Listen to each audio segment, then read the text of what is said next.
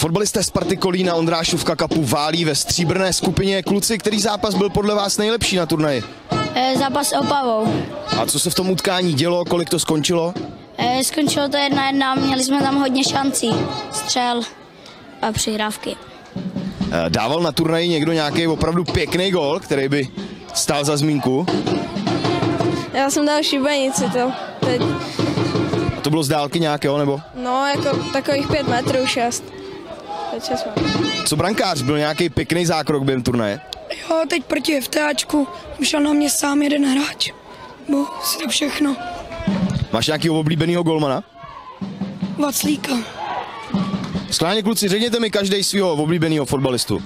Ronaldo. Ronaldo. Ronaldo. Messi. Messi. Messi. Messi. Messi. Ronaldo. Bale. Ronaldo. Messi. A ty jsi snad jediný, kdo neřekl Messiho nebo Ronalda.